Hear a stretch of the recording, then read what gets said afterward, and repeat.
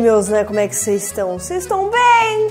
Então, tá bom. Seguinte, estamos aqui hoje para fazer isso mesmo que vocês já leram no título. É uma torta de óleo. Então, temos aqui todos esses óleos da série Gostaria que fosse publi, mas não é. Seguinte, teoricamente, essa massa precisa de 150 gramas da bolacha. Só que é o seguinte, só nesse pacote aqui tem 144 gramas. E a gente vai separar toda a bolacha do recheio. Então, significa que a gente tem que pegar isso mais um pouquinho para dar certo. Demorou? Vamos indo por etapa. E é o seguinte, primeira coisa que a gente vai fazer... Aliás, a primeira coisa que você vai fazer é dar um like no vídeo. Obrigada. A segunda coisa é pré-aquecer teu forno, tá? Deixa ele lá aquecendinho. Show de bola. Agora, primeiro vamos abrir todos esses óleos aqui. Mas antes, né, esqueci daquele do... E a gente vai precisar de, claramente, os óleos. Uma forma que sai o fundo. Manteiga teiga. Não, o gato não, o gato não precisa. Tani, tani, desce. Leite condensada. Três óvulos. E só isso mesmo. Eu peguei isso aqui só para fazer uma graça, que eu sempre fiz isso, mas esse aqui é pro final. Se for menor de idade, não use isso. Criança, sei lá como é que é o negócio. Tá, vamos fazer o seguinte, vamos pegar esses óleos tudo, vamos cartar todos os óleos aqui. Beleza, feito isso, a gente vai pegar todas as bolachas e tirar o recheio. Pega o recheio e reserva pega o recheio e reserva. Ah, já para facilitar o nosso rolê aqui, seguinte, outra coisa que você não vai precisar é um gato na mesa.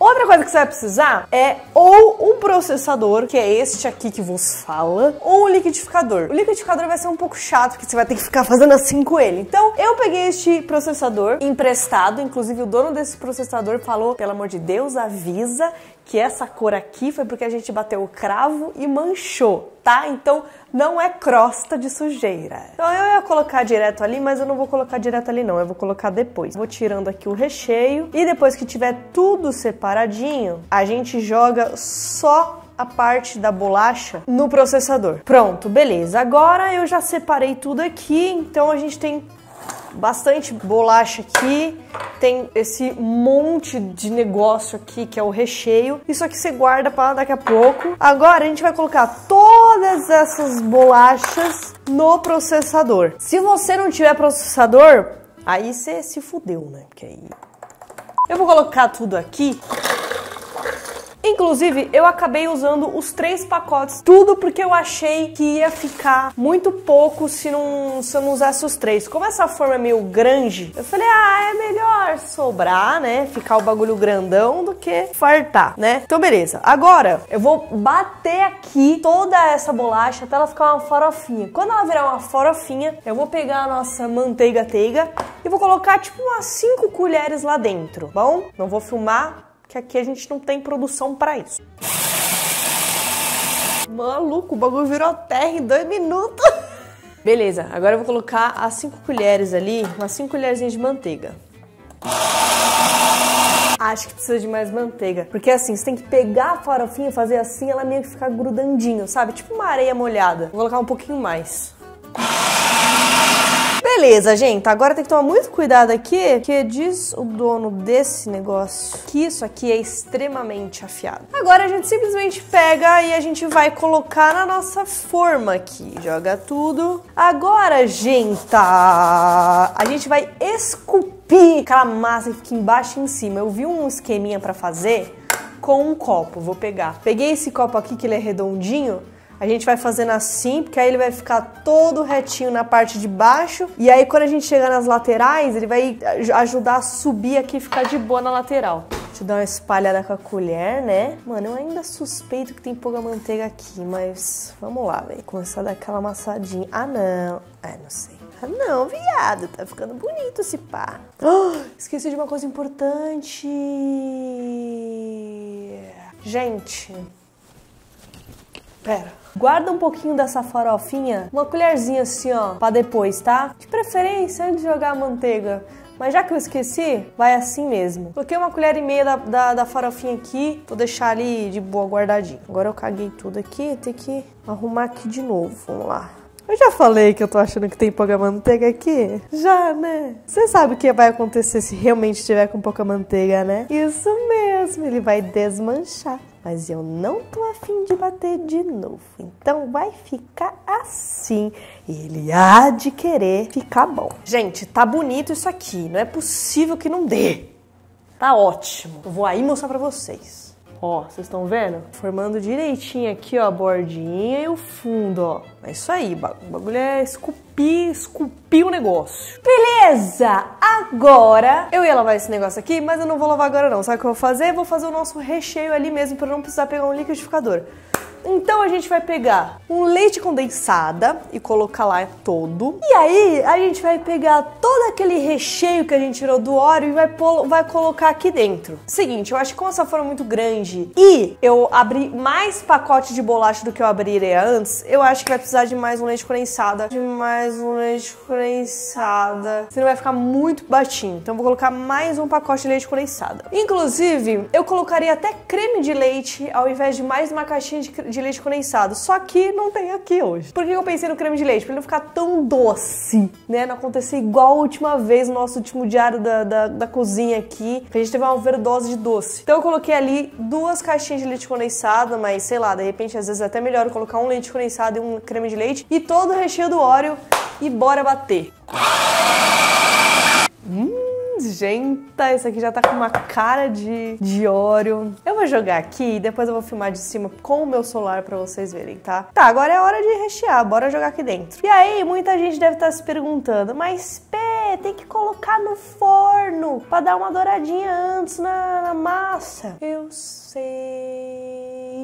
relaxa, que eu tenho outros planos. O plano é o seguinte, o plano é que ele quer ir pro forno depois. Primeiro que eu quero dar uma cozinhadinha nesse leite condensado. Segundo, galera, que eu vou fazer, eu não vou fazer essa torta, porque não sei se vocês perceberam, mas isso aqui é tipo aquela torta de limão tradicional, só que em vez de ser de limão é de óleo. E aí, ao invés de colocar chantilly em cima, eu quero suspiro. Eu quero aquele suspirinho mesmo que, como é que chama? Crocante. Então, para isso, ele precisa ficar no fogo baixo um, tan um tantinho. Então, em vez de colocar a massa antes, a gente vai colocar a massa depois, tudo junto. Fechou? Caraca, isso aqui tá bonito demais. Eu vou filmar de cima. Tá aqui a visão de cima para vocês verem como tá essa massa e esse recheio de leite condensado com o recheio do óleo. Agora, gente, seguinte, toda vez que vocês forem pegar isso aqui, cuidado para não colocar a mãozona embaixo, que embaixo é mole, e aí você destruir tua torta. Pega assim pelo lado. A gente vai colocar isso aqui do ladinho,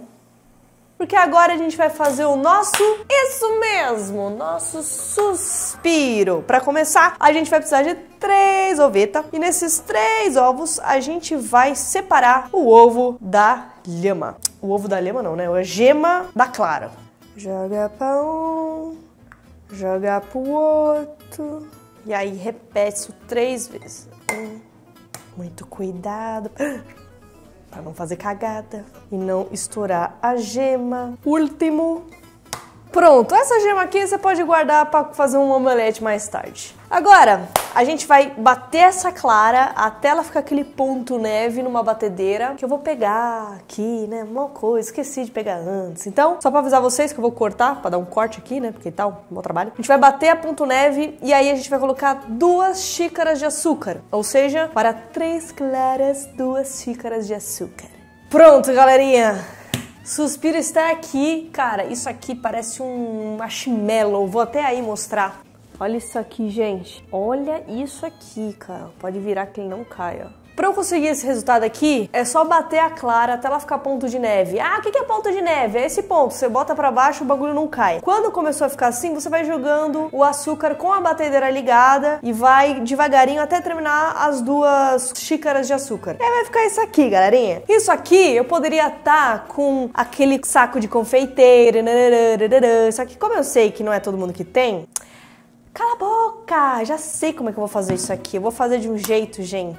Que todo mundo pode fazer em casa. Seguinte, pega um recipiente, eu peguei essa jarra aqui só para ajudar. Pega um saquinho limpo, novo, óbvio, tipo desses de mercado para você colocar fruta transparente. Bota aqui dentro como se fosse um saco de lixo. Abre aqui bem e vai pondo todo o bagulho aqui dentro.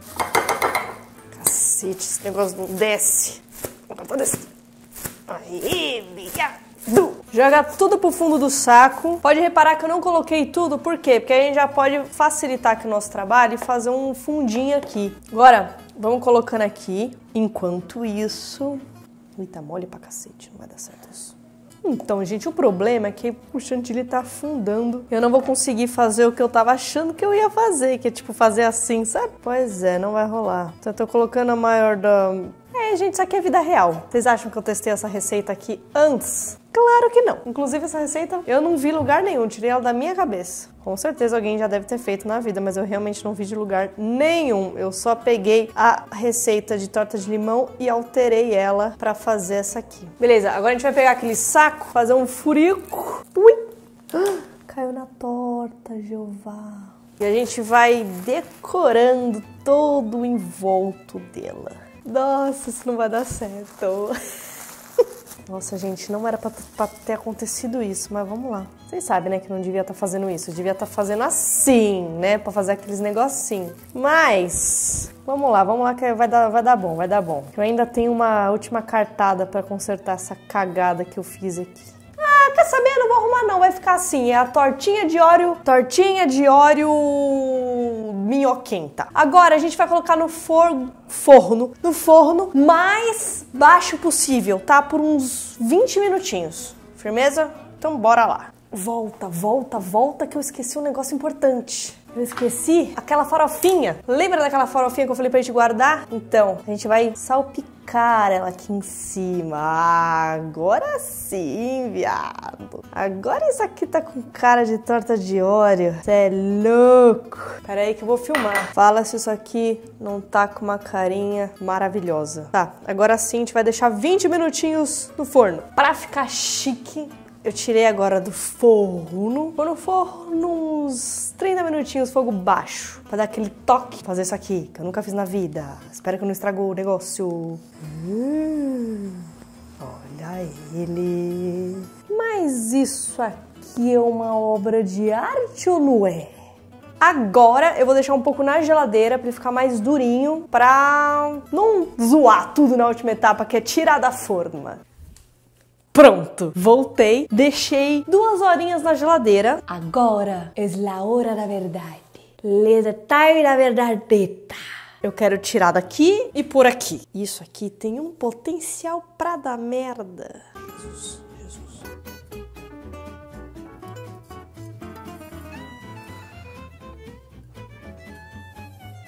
E agora, como é que eu vou? Caraca, o cheiro disso aqui tá sinistro. Pera aí, como é que eu faço aqui pra tirar? Negócio de baixo. Puta que pariu. Mano, eu só achei essa faca. Puta que pariu, isso aqui vai dar merda. Como é que eu vou tirar daqui? Dá pra deixar aqui?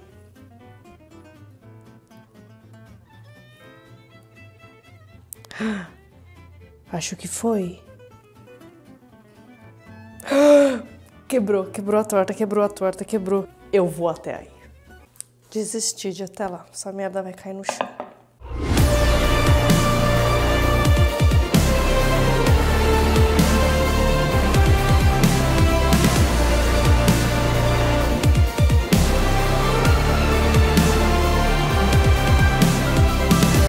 Agora vou cortar para me servir. De repente, assim rola tirar o bagulho de baixo, né?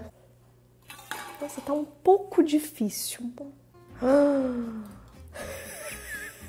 Gente, o meio ficou completamente mole. Ah. Puta, puta, puta, puta merda. Gente, o meio deu todo errado o meio. É, galerinha, eu devia ter feito tipo um brigadeiro, ter colocado no fogo o leite condensado para ele ficar durinho. É, agora fudeu, né? Agora tem uma puta de uma torta gigante que vai derreter até o ano que vem. Vamos na hora da verdade, que a hora da verdade é o quê? É o gosto. Cara, a torta tá escorrendo por dentro e eu acho que ela vai vazar. Gente, como é que eu vou fazer isso? Um pouco desmantelada, porque o recheio. Oh, tá vazando pra mesa!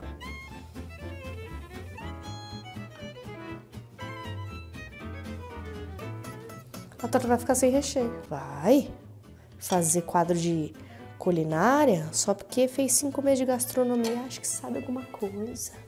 Tive que voltar na forma. Vamos sentir o gosto disso aqui, né? Mano, pior é que o gosto é maravilhoso. Cara, se eu tivesse, façam isso. Só faz isso. Faz tipo um brigadeiro, mano, antes de colocar dentro. Pra não acontecer isso, pra ficar durinho. Porque, mano, do céu. Coloca uma lata de leite condensado, o recheio do óleo, um, uma lata de creme de leite e mexe bastante no fogo para ele ficar durinho. Quando endurecer, vai ser sucesso. Só isso que fudeu. É isso, gente. Eu espero que vocês tenham gostado. Que é assim, quando é verdadeira mesmo, com o gato em cima da pia. Que aqui em casa, se vocês quiserem pisar dentro da minha boca, eles pisam. Tá bom? Se você gostou, clique em gostei, se inscreva no canal, não deixe de dar seu like e de compartilhar para outras pessoas se você gostou, tá bom? E, e mostra isso aqui, ó. Juro por Deus que é bom demais. Juro por Deus. É que a aparência com esse negócio desmanchado não tá legal, né? Tá bom? Então tá bom. Um beijo! E até o próximo Diário na Cozinha.